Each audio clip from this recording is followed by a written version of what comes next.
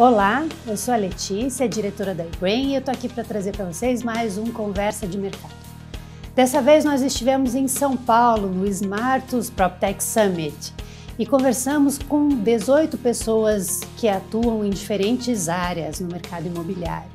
A conversa está bastante rica e vale a pena conferir.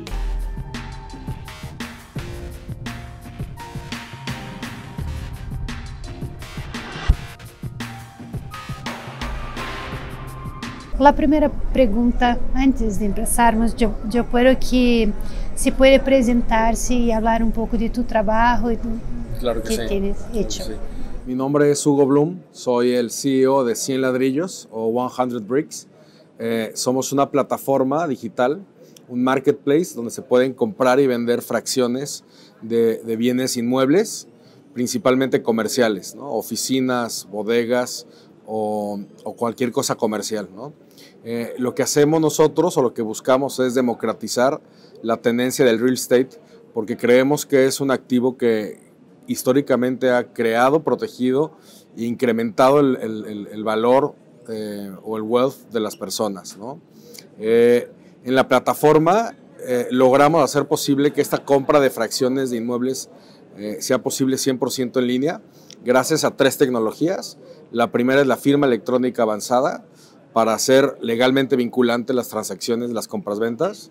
La segunda es eh, la administración de fideicomisos bancarios electrónicos para darle protección a la, propiedad inmobiliaria. Y la tercera, a través del blockchain, para que estas partecitas o estos títulos o estas fracciones de inmuebles puedan transaccionarse con total transparencia y seguridad de que lo que compras es único e inviolado. La segunda pregunta yo creo que ya nos ha hablado, era para explicar para nosotros cómo funciona 100 ladrillos. Sí. Sí, pero... si Básicamente, sí, una propiedad inmobiliaria eh, terminada o en construcción eh, se, se aporta a un fideicomiso bancario, eh, se escritura en el Land Registry del- del- del- de la ciudad y a su vez el fideicomiso, el Bank Trust, emite títulos eh, o fracciones que le dan eh, eh, la, la posibilidad de que pueda es- hacer un split de, de las partes. ¿no? Ya, que ten- ya que tenemos esos, esos, esos títulos digitales en la plataforma, ahora sí podemos comprar y vender con total seguridad. ¿no? Todo en la plataforma. 100% en línea. ¿no? Logramos hacer que una transacción inmobiliaria eh, que tradicionalmente en nuestro país, en México, tarda eh, más o menos dos meses en realizarse y te cuesta alrededor del 4 o 5% del valor de la propiedad, logramos hacer que esa transacción inmobiliaria cueste cero y que pueda hacerse en dos minutos. La próxima pregunta que tengo tiene que ver con, con una característica del mercado inmobiliario, Sí, que es de ser muy tradicional. correcto. ¿sí? Ah, y los inversionistas más comunes en el mercado inmobiliario son los más tradicionales. Correcto. ¿Cuál la aceptación de estas personas a una propuesta como la de 100 ladrillos? Ok, tienes toda la razón.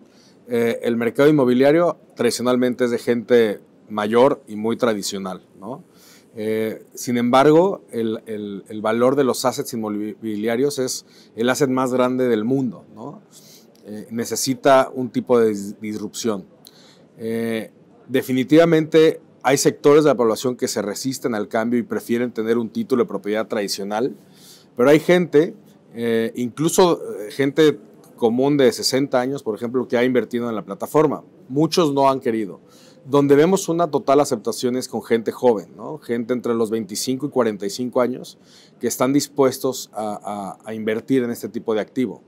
Eh, principalmente porque para ellos no es opción por los montos que, que- que significa invertir en, un- en una propiedad inmobiliaria.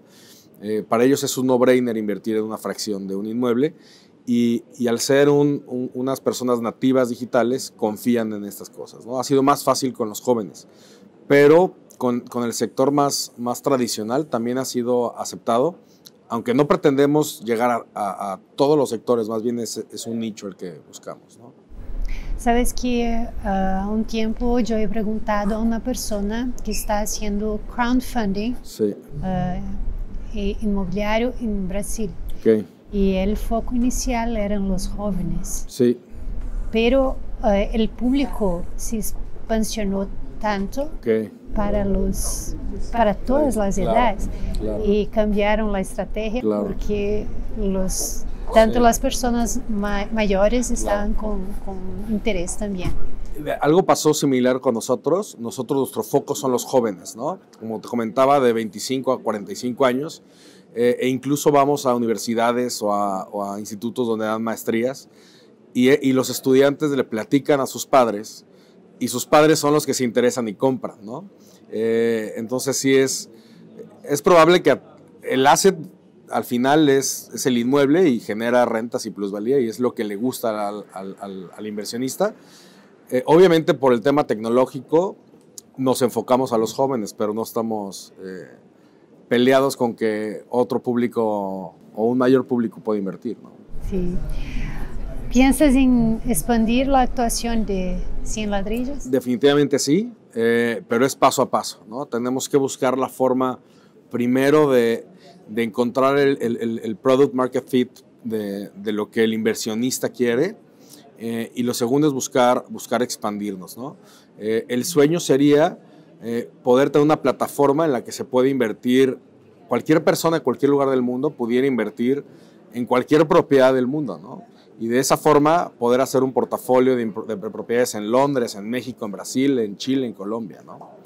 Y todo desde, desde su computadora. ¿Cuán lejos estamos de esto? Esperemos que no más lejos de tres años, Tres años. espero, sí. ¿Quieres dejar un mensaje a los inversionistas brasileños? Sí, este, yo creo que lo más importante es que estén abiertos a las nuevas tecnologías, eh, que lean, que, que se involucren y que eventualmente decidan invertir, porque definitivamente todas estas tecnologías que hacen más accesible la inversión y la creación de patrimonio son una buena opción. ¿no? Yo creo que es eso. ¿Hay alguna cosa más que quieras decir de Hira- No, no, muchas gracias y esperemos verlos pronto aquí en Brasil. Bueno, muchas gracias, a ti. Gracias. Prazer. Nos vemos.